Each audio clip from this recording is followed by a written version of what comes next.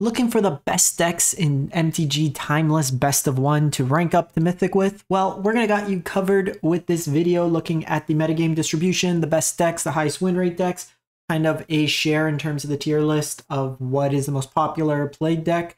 We got that all covered for you today in this metagame breakdown. As always, we're getting the data from Untapped GG, what you see on the screen, companion tool that runs alongside Arena's client, aggregates users' win rates, uh, and then gives us a whole bunch of cool stats. So we will take a look and deep dive. We're going to look at Platinum to Mythic and Diamond to Mythic, kind of two sample sizes today for both distribution and some of the win rate decks. It's still early in the season, so we're getting a little bit of a mix.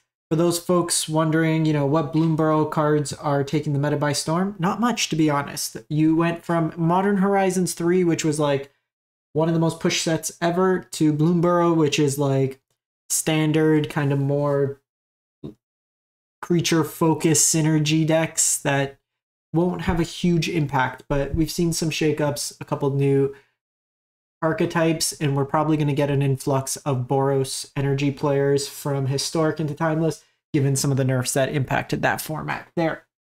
So let's start off. We'll look at the popularity of the day. All the deck lists, uh, they're time stamped and included deck lists, so you can import them to your heart's content. So we have in the Platinum to Mythic rank, Show and Tell is the most played deck uh, at about 17%, Boros Energy 14, Mardu Energy 11. Then we have like the Vampire combo, Dimir Tempo, the Reanimator decks kind of mixed into there. If we actually flip it to Diamond to Mythic, we actually have the Vampire combo uh, a little bit higher at 22%, Show and Tell at 14, Reanimator at 10, and then the Energy decks uh, at 8. So we see just kind of the little switch there. Show and tell drops a little, and we get a lot more vampire. More combo is being played, it seems, as we go a little bit higher. So things to consider as you're kind of approaching the meta at different ranks. A deck might be working for platinum. You might need to switch it up at times or reconfigure once you're at diamond just based on the type of opponents you're playing. You don't have the luxury of a sideboard in best of one, so you have to kind of consider how you're attacking the meta in each rank.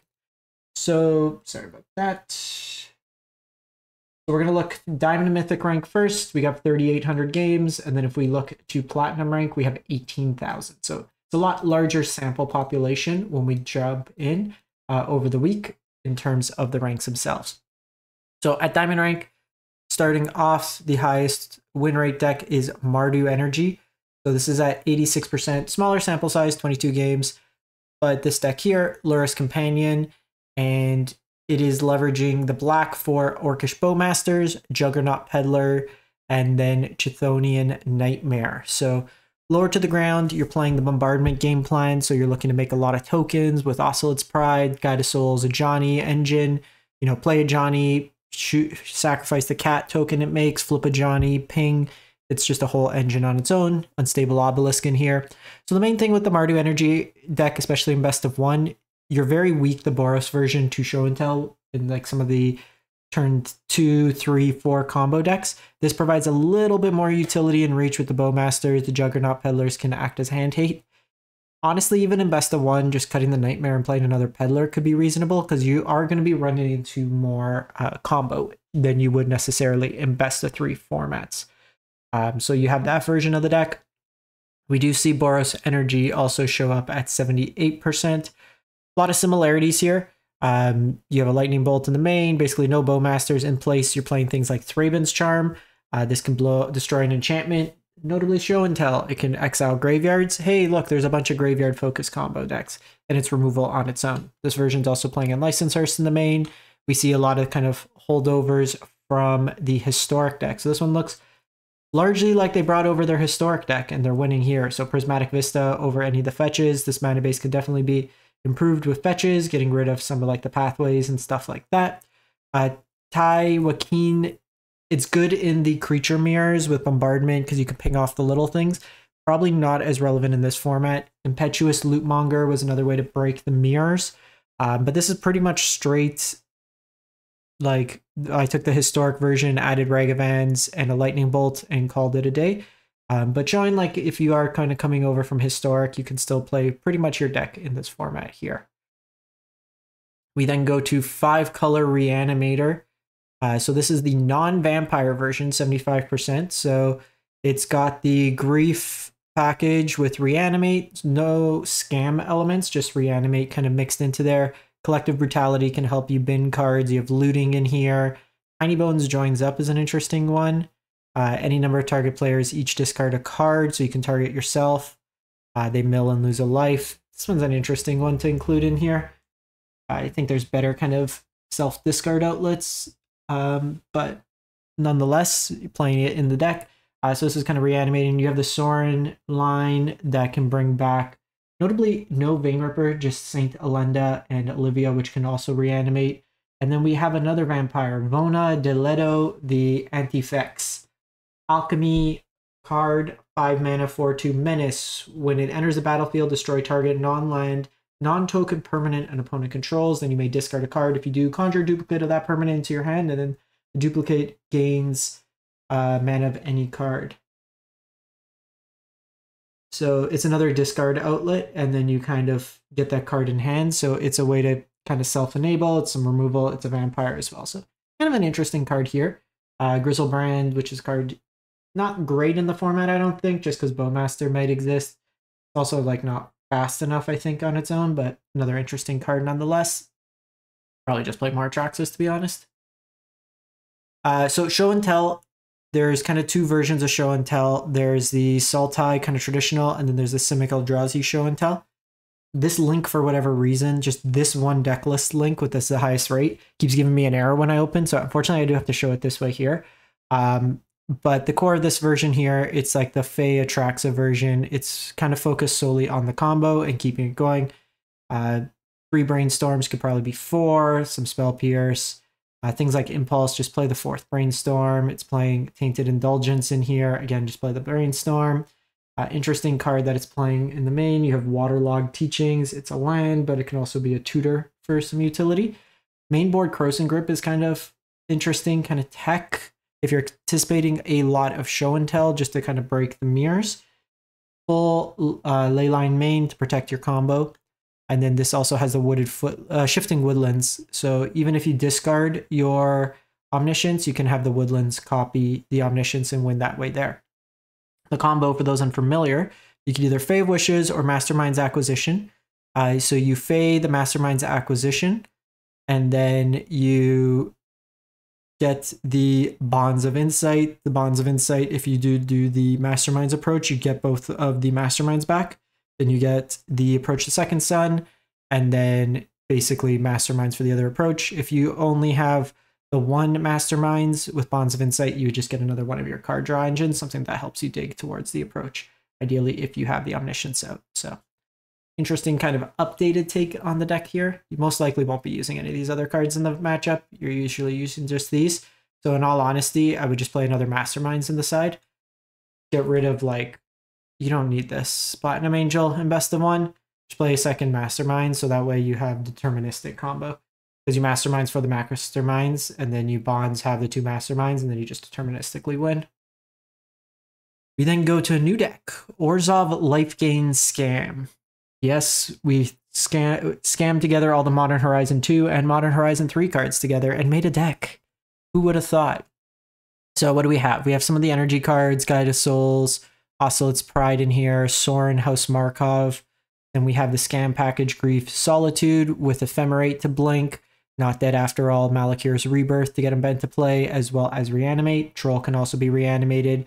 Witch Enchanter as a land and a way to blow up artifacts and enchantments. Good and best of one because it can blow up show and tell in the combo mirror. Phelia can kind of rebuy your stuff, so you're just gaining some life, flipping Sorin, scamming opponents, packing their hands in different ways as well, which is an interesting kind of build of the deck. No companion with this one here. We then go to the vampire combo. So this one's 64%. So still reanimation elements, but it's got like the Phoenix kind of backup package. So there's a couple ways you can Phoenix on turn one. Uh, you can go Strike It Rich, Dark Ritual, Buried Alive, put three Phoenix in your bin, animate. You can go Dark Ritual, Buried Alive, Surgical Extraction, one of your cards in your graveyard. Uh, get three Phoenixes out. You can Dark Ritual, Sorin into like one of your big vampires, Vein Ripper, Saint Elenda, or Ghalta as well. So the rest of the deck's just kind of setting you up for the combo, but that's kind of the line that you're looking at with this deck here. Then go to Dimir Tempo. So Froggy Frog, no Frog, actually. Baleful Strix over the Frog. I still think this is wrong. I still think Baleful, Baleful Strix is a much better card. Or not Baleful, uh, Psychic Frog. Cards like being talked about being banned in Legacy, and you're just still playing Baleful Strix, which is kind of phased out. Um, but this is kind of a tempo element deck. We've seen the control versions of the deck be around with just Bowmasters to win conditions. One's a little bit more proactive. The Tamiyo is very strong against the Boros energy decks, just kind of stopping a lot of their attackers once it flips. Very easy to flip with Brainstorm. Mockingbird can copy like the Baleful Strix Bowmasters or Nethergoyfs. Uh, someone made a comment like Strix is better for Nethergoyf because it's another type, but I still just think Psychic Frog enabling the discard, the draw, stuff like that is a lot better.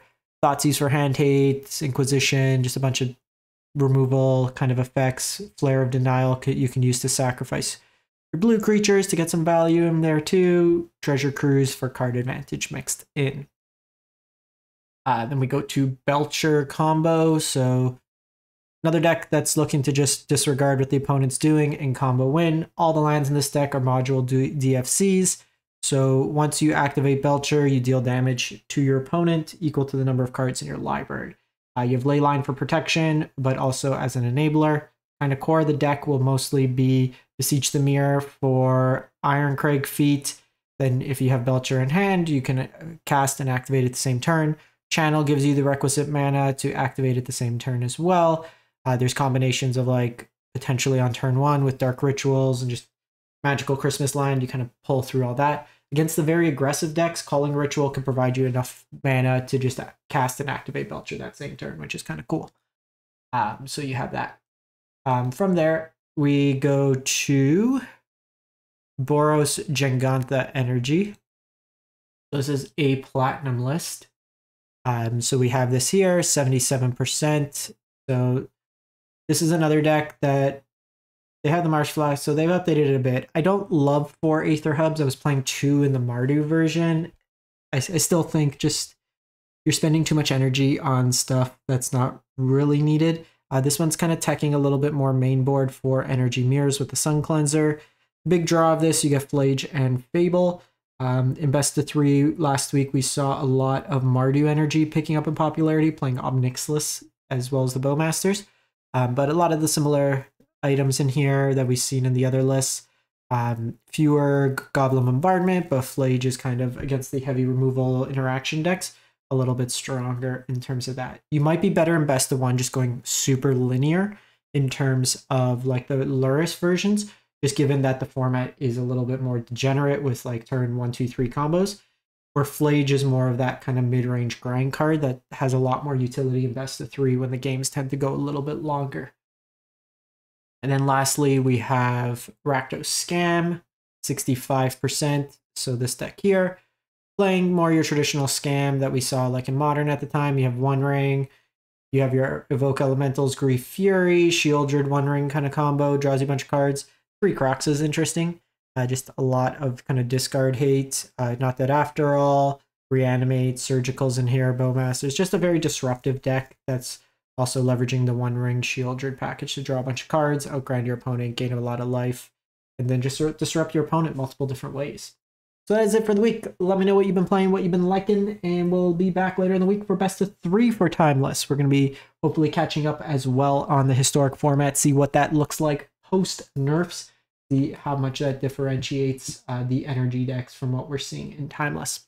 Thanks for watching, everyone. Stay safe.